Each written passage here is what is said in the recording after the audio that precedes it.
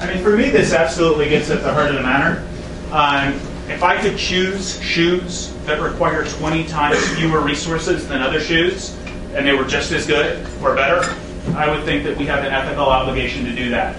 Um, similarly, if you can choose something that requires 20 times the resources of something else, and the only difference is you might have a, a palate preference, you might get a momentary additional you know, pleasure from one of the things, but the other thing nutritionally is actually better for you, as vegan foods are, uh, then it seems to me that we do have an ethical obligation to choose the thing that requires exponentially less, fewer resources. Um, I do actually try to not have too many pairs of shoes. I have one pair of dress shoes. I don't have black and brown, but uh, but I do think, but I do think even having black and brown dress shoes, like you are going to eventually wear out both of those pairs of shoes. Like there is actually a reasonable positive benefit to, you know, unless you're Imelda Marcos or you know, mega shoe collector. Um, but shoes last you an awful long time. You know, you choose to eat meat, that lasts you a few moments. Um, and I don't know how much greater the pleasure is to you to have, you know, chicken or a burger or some pork chops, um, but it's not that much greater than eating a plant-based meal.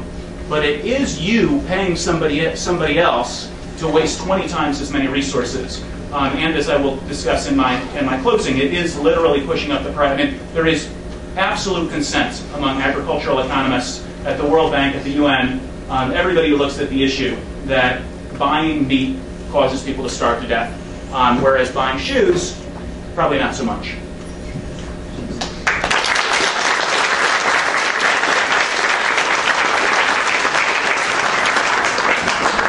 Our final cross-examination question. So um, I, I guess the thing I'm, I'm continuing to grapple with, I like your uh, distinction of the idea of a virtue but not an obligation. What do you see, like what are LDS or just ethical obligations? What sorts of obligations do exist ethically for human beings? Um, a couple of examples of what you see as ethical obligations, and what is the moral, moral paradigm under which you say, yes, this isn't just a virtue, but it's something that we should all do? Um, this is a great question. And this really, I think this gets down to some of the fundamentals of Christianity. If we could have a whole other discussion about Pauline Christianity, that would be awesome to try to bring these things out. But I think when we look at moral imperatives, a lot of the moral imperatives are don'ts, which is kind of has, has a negative feel. But for example, for someone to be ethical, let's say one thing they don't do is they don't steal. You know, if I were to come and take something from someone else and forcibly take it from them that wasn't mine, we would all agree that's theft, and that is a moral imperative not to steal. We have a moral imperative not to kill. We have we have a moral imperative not to do a lot of these, of these extreme things. Now, I think where a lot of true Christianity comes out is which virtues we decide to make part of ourselves. Uh, Paul is my favorite scripture writer of all time, and I love how he talks about not just living rules, but actually inculcating principles into who you are, so that the law becomes dead to you in that you are living who you inherently are as someone in Christ, as opposed to following a bunch of rules.